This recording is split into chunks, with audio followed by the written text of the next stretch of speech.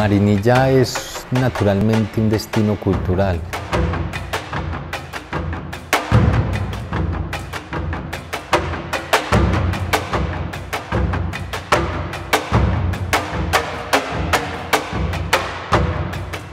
Hablar de Colombia yo creo que es hablar de un continente.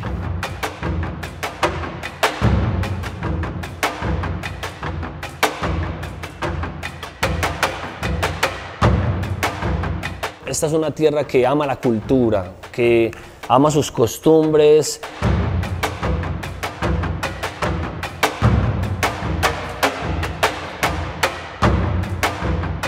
No conozco eh, un territorio con tanto crecimiento en todos los ámbitos en Colombia.